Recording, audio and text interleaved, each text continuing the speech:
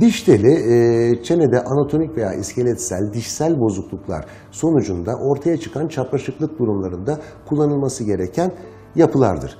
Diş telleri ortodonti hekimleri tarafından e, takılması, planlanması ve ağza yerleştirilmesi gereken yapılardır. Mutlaka ve mutlaka ortodonti uzmanı bir hekimin diş telinin takılmasına karar vermesi gerekmektedir. E, yaş olarak da puberte atılımının yani gençlerin buluğa erdiği yaşlar takılması için en uygun yaşlar olmaktadır.